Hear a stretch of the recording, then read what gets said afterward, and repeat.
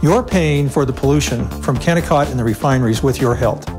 It's like a pipeline from your wallet to theirs, draining your money and harming your health to increase their profits.